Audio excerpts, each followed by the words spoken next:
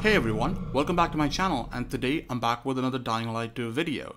So just like I promised I'll post a video today, well, I'm doing that and it's like 8 a.m. in the morning, so I know I'm late.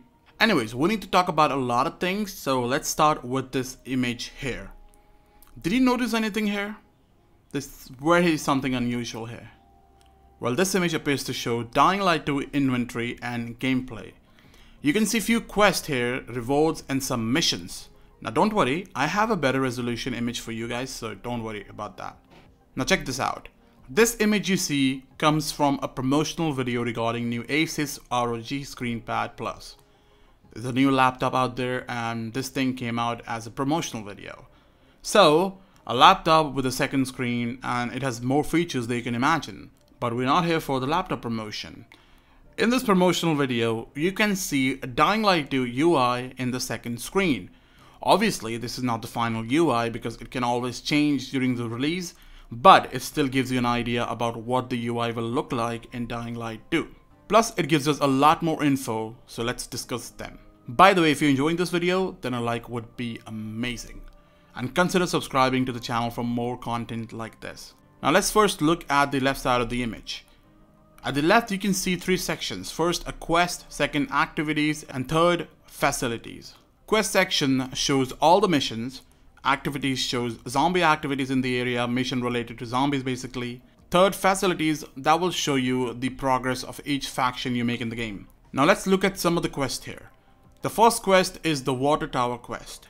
I feel like this quest is the one we saw in the early E3 2018 gameplay you go on the top of the tower and find few people from different factions. You have choices to make, either side with them or simply kill them. And uh, later, your choices have consequences. So basically, this quest is from E3 2018 gameplay, by the way. Second quest is called Getting Stronger. Now this is an interesting one because in the middle where it shows the quest details, it says Aiden and Hakon have reached the bazaar which is in the black market and unfortunately the guard won't let him in because Aiden doesn't have his biomarker. And luckily Hakon had a backup plan, so that is what the description says for this quest. It's very interesting stuff because as devs mentioned, when Aiden arrives in the city, he doesn't have his biomarker. So if you're wondering what the biomarker is, well, what you need to know is that the purpose of the biomarker is to tell you the level of infection one person has. So if you get bit or you get in contact with an infected zombie, your chances of getting infected increases and the biomarker pretty much just warns everyone and you with the red and green light you see here. By the way, in this image you can see it says you will be able to choose one of the rewards. And since it's not the final UI, you can see two similar weapons, but don't worry, later on it will be two different weapons here. Anyways, did you notice there is a recommended level there? I see, Techland is actually implementing this feature for a reason. Techland wants people to explore the world more and do more side quests and stuff to level up the character to do certain missions. This is something I've seen with Assassin's Creed games, Ubisoft does that a lot, but hey, it's not a bad feature, it's just, I don't think so it's going to work with Dying Light. I'm just not sure if this level system will affect trading weapons in game. Like for example, if you're level 8 and a friend of you drops level 9 weapon, will the game stop you from using that high level weapon just because you don't meet the requirements. I mean, honestly, I hope it doesn't work like that because I love trading weapons and I don't want to trade weapons that I can't use because of my level, so that would suck. By the way, on top you can see the HUD showing your level meter and at the extreme right you can see your you are level 9, so this is what the UI looks like. Also at the right you have a section that shows you past objectives. Well, get ready because things are going to get interesting here. Let's check the past objective sections start from the bottom because that's how we'll know what happens in the story. The mission says clear your way to GRE airdrop. So yes, you will have GRE airdrops in Dying Light 2. And look in the description, it says that in Routine 2 More Inhibitors, Aiden ran into some infected. To complete his task, he had to eliminate them. Later in the quest, the next quest is called, by the way, Search for Inhibitor near the GRE quarantine. The description says after defeating the infected, Aiden could at last get to the inhibitors.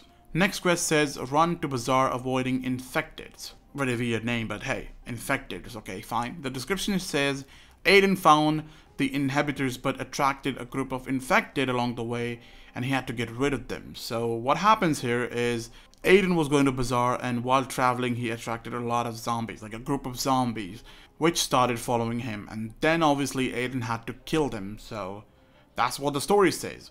It's just so crazy how we have so little info about a quest and it already sounds so amazing. Now in the top of the image you can see three sections again. First quest, second chat and third quick slots. Quick slots would be inventory option for you to put your favorite weapons there so you could just quickly swap between them. And the chat would be something like a group call or party like PlayStation has, you know, the party thing. Every PlayStation user would know that. Now I'm showing you another image and look at this. This is actually the latest UI.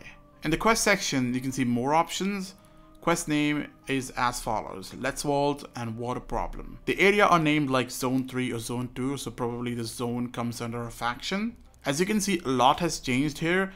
The level has changed from being numerical 8 to being Roman number 5. Also an additional quest finding water tower is there.